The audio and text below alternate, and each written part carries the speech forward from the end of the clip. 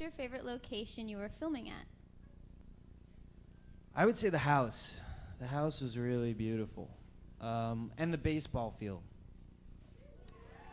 I mean, I don't know if you guys got to see it, but in the while we were shooting there, in the background there was waterfalls in the background. It was really beautiful. Um, but the house was really stunning too. I mean, you, you walk into this beautiful big house, and I mean, it just looked like a tree house, like you were in the middle of a forest, and uh, and it was it was beautiful. And they kind of recreated that in Vancouver. Um, it's not the same, but it's the same kind of feel. So it's not an exact replica of the house, but it has the same vibe. It kind of reminded me of uh, Happy Days. You know, the first season they had one house, and the second season there was like a new house, but and there was like the brother that Richie Cunningham had was gone, but no one questioned it.